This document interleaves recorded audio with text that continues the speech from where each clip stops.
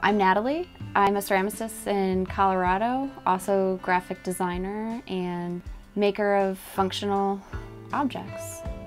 I guess I'm always been artistic. My family has always kind of pushed that with me because it's something that I've always been passionate about.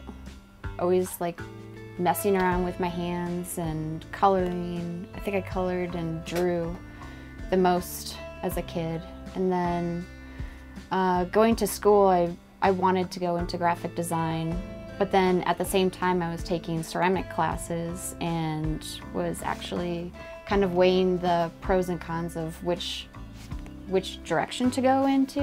And I liked the problem solving of graphic design and felt like that had a bit more opportunities and I can always like kind of do ceramics on the side. It wasn't until about six years ago that I decided that I really wanted to kind of step away from graphic design a little bit more and actually work with something that's more tactile and get away from the screen and the keyboard and the computer.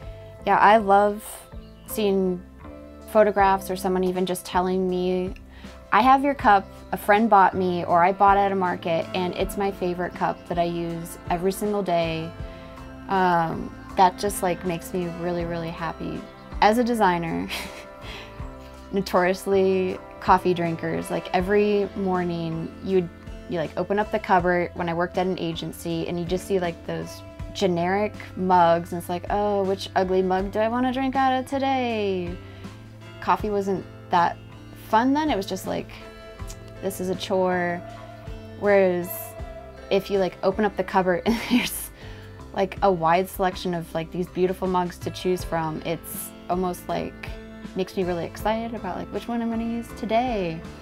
And just sitting down and having that moment of peace before answering emails and getting into meetings, it's just like that moment of like calm before the storm.